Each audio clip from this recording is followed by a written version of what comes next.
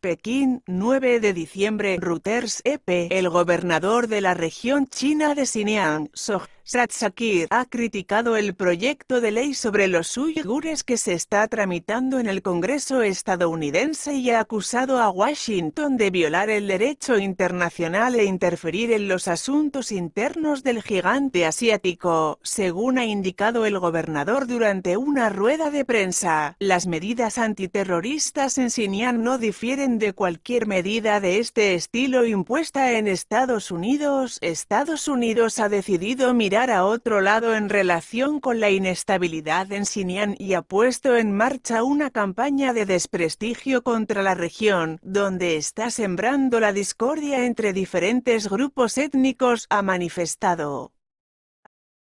Asimismo, ha señalado que cualquier intento de mutilar Xinjiang está destinado al fracaso. La tensión ha aumentado entre ambos países después de que la Cámara de Representantes aprobara la semana pasada el proyecto de ley en una versión más dura que la respaldada en septiembre por el Senado. El texto volverá ahora a la Cámara Alta donde, de ser ratificado, quedará aprobado a la espera de que el presidente estadounidense, Donald Trump, lo firme y promulgue.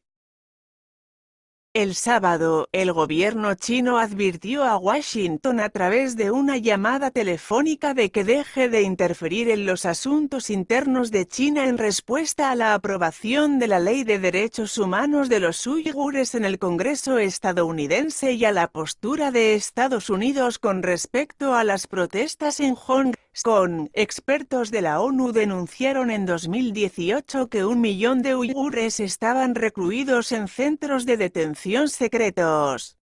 China ha confirmado la existencia de estas instalaciones pero ha aclarado que el ingreso es voluntario y que el objetivo es reeducar contra el extremismo.